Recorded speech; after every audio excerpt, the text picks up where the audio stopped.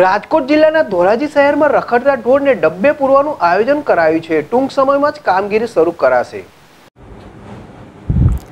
સમગ્ર ગુજરાતમાં રખડતા ઢોરનો ત્રાસ અસહ્ય પ્રમાણમાં વધી જતા નામદાર હાઈકોર્ટ પંચાયતથી લઈ કોર્પોરેશન સુધીની રીરિયા ઢોર ડબ્બે પૂરવા આદેશ આપ્યો છે.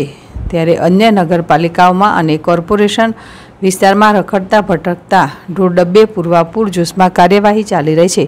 ત્યારે ધોરાજી નગરપાલિકા દ્વારા હાલ માત્ર આયોજન હાથ ધરવામાં આવ્યું છે. હજુ સુધી રખડતા ઢોર ડબ્બે પૂરવાની કોઈ કાર્યવાહી શરૂ કરવામાં આવી નથી. ધોરાજી શહેરમાં રખડતા ભટકતા ઢોરનો ત્રાસ ધોરાજીની જનતા વર્ષોથી સહન કરી રહી છે. અગાઉના સમયમાં રખડતા ભટકતા ઢોરને પાંજરે પૂરવા માટે ધોરાજી નગરપાલિકા દ્વારા કોઈ પણ નક્કર કાર્યવાહી કરવામાં આવી ન હતી અને સામાન્ય નિર્દોષ જનતાએ આખલાની લડાઈમાં અને રખડતા ભટકતા ઢોરને લઈ ખૂબ જ ત્રાસ સહન કરવો પડ્યો હતો. આજે જ્યારે નામદાર ગુજરાત હાઈકોર્ટ રખડતા પશુઓને ડબ્બે પૂરવા તેમજ પશુઓના માલિક સામે પોલીસ ફરિયાદ કરી આકરા દંડ વસૂલવા સહિત નિર્દેશ આપ્યા છે. ત્યારે ધોરાજી નગરપાલિકા હવે ઢોર પકડવાની કામગીરી શરૂ કરે તેવી લોક માંગણી કરી રહ્યા છે.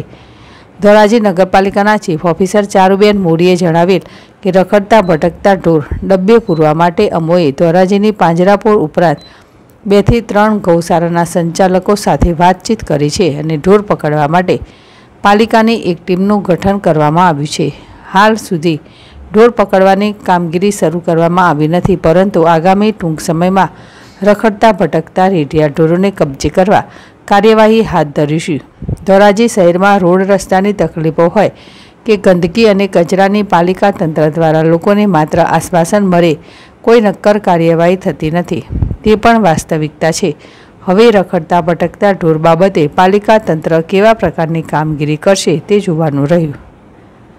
કલ્પેશ ભાષા જેડેશ ટીવી, ધોરાજી. હાલ તો ધોરાજીમાં જે રખડતા ઢોર છે, તેને પકડવા માટે નગરપાલિકાની સેનિટેશન ટીમ દ્વારા એક ઢોર પકડ ટીમ બનાવવામાં આવેલી છે.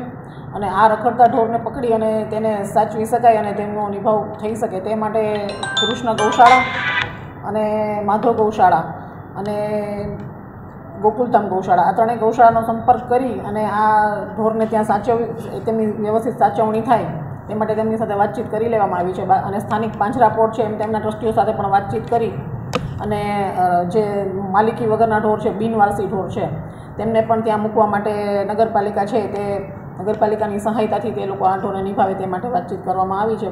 અને આ ઉપરાંત નગરપાલિકા દ્વારા તમામ વિસ્તારોમાં તમામ વોર્ડમાં માઇક પહેરવી અને જે ઘાસચારો ખુલ્લામાં વેચે છે તેવા લોકોને અને જે માલિકો છે ઢોરના તેઓ પોતાના ઢોરને છોડી દે છે બિનવારસી અવસ્થામાં. તેવા તેવા માલિકોને પણ તાકીદ કરવામાં આવી છે કે તેઓ આ આ કાર્યવાહી ન કરે અને કરતા હોય તો હાલ બંધ કરે. અન્યથા તમામની સામે પોલીસની મદદ લઈ અને કાનૂની રાહે કાર્યવાહી કરવામાં આવશે. અને શું અત્યારે ઢોર પકડવાની કામગીરી ચાલુ છે?